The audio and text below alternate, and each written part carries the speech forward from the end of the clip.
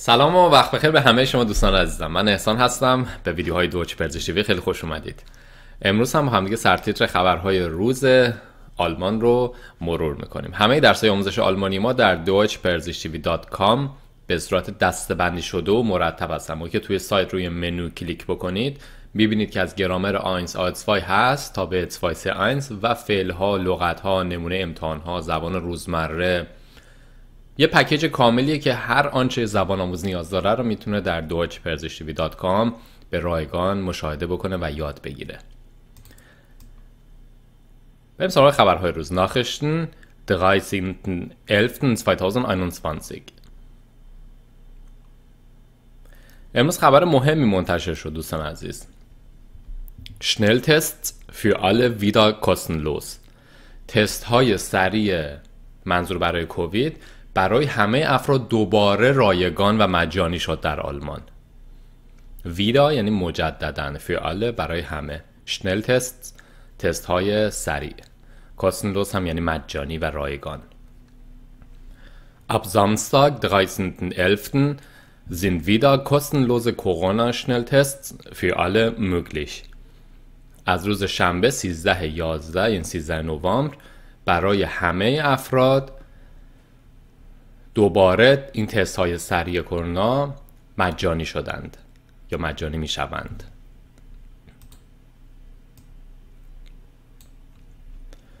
Damit haben alle mindestens einmal pro Woche Anspruch auf einen Schnelltest durch geschult, geschultes Personal.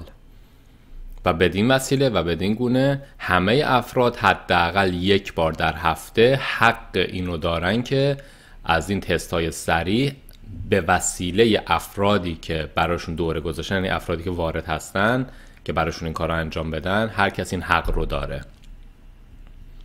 Mindestens یعنی حداقل. Mindestens einmal pro حداقل یک بار در هفته.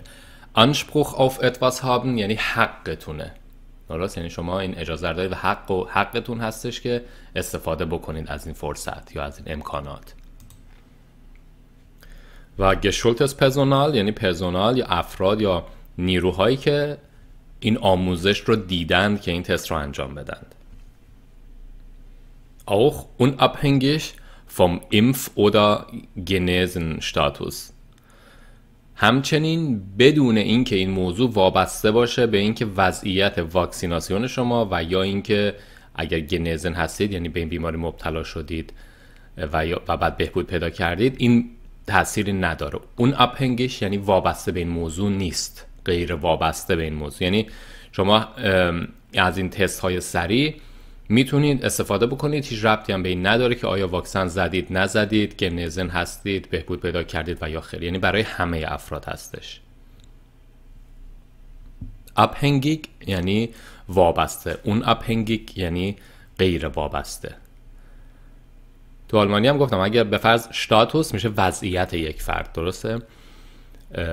Impf در از Impfstatus هستش و بعدش هم Genesenenstatus. برای اینکه Status هی تکرار نشه می‌تونید شما حذفش بکنید از کلمه اول که Impf باشه یه خط تیره بذارید و بعد ادامه جمله نشون میده که اون شتاتوس برای ایمف هم صدق می‌کنه.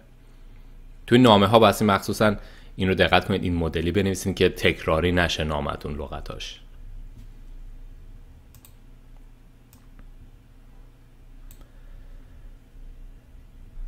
Spahn rechnet damit, dass die Möglichkeiten zum kostenlosen Testen ab Anfang kommender Woche nach und nach verstärkt zur Verfügung stehen.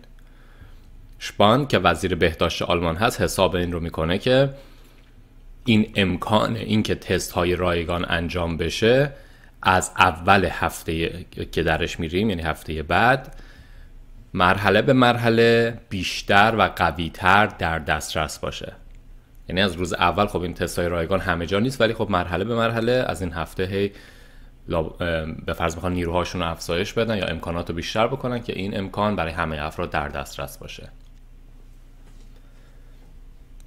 رشنن میت اتواس یعنی حساب چیزی رو کردن یعنی این احتمال این حساب رو می‌کنه که در آینده اتفاقی بیفته. Möglichkeiten یعنی امکانات. Kostenlosen تستن تست های رایگان. Ab Anfang kommender Woche از شروع هفته بعد. Kommender Woche یعنی هفته که داره میاد. همون نیست Woche هم میشه گفت. و ناخ و ناخ یعنی هی مرحله به مرحله بیشتر میشه یه چیزی. Verstärk یعنی قوی تر یا پرقدرتتر. Zur Verfügung stehen هم یعنی چیزی که در دست هست باشه. به اینجور ترکیبات میگن که Nomen-Verb-Verbindungen توی سایت همچنین تو کانال یوتیوب یه دونه پوشه یا playlist مخصوص به Nomen-Verb-Verbindungen هستش که تمام این ترکیبات اسمی و فعلی رو که برای سطح B zwei C 1 هست درس دادیم که می‌تونید از اونجا مشاهده بکنید.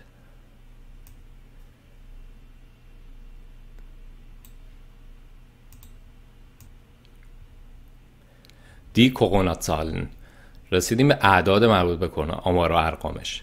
Das Robert Koch Institut RKI hat für Deutschland binnen eines Tages 45.081 Corona-Neuinfektionen gemeldet. Robert Koch Institut برای آلمان در طی یک روز 45081 مورد جدید ابتلا به بیماری رو ثبت کرده. Das sind 11.079 mehr als vor einer Woche. این عدد 11079 مورد بیشتر از هفته قبل هستش. می‌بینیم که آمار چقدر بالا رفته. بینن آینستاگس یعنی در طی یک روز. گنتیو هستش درس گنتیو رو نگاه بکنین پوشه مخصوص به خودش رو داره. و باقی کلمات هم فکر کنم برای شما از آن آشنا باشه چون همیشه تو بیشتر خبرهای روز بوده.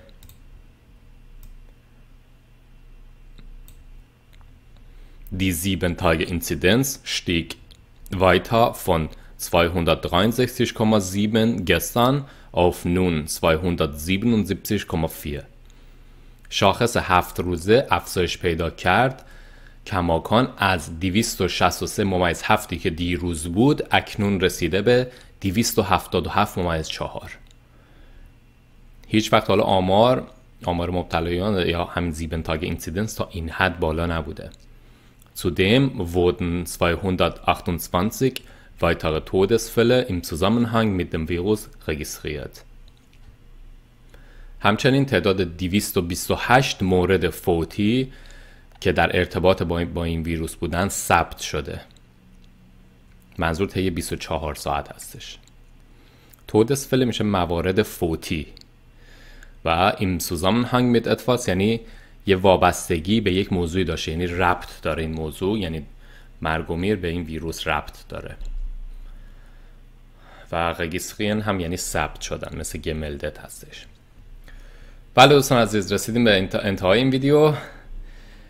اگر سوال یا نظر یا در از هر موضوعی هستش که دوستان بیان بکنین در کامنت ها می‌تونید بنویسید. فراموش نکنید که اگر ویدیوها راضی هستین ویدیوها رو هم لایک بفرمایید. تا ویدیوهای بعد خدا نگهدار.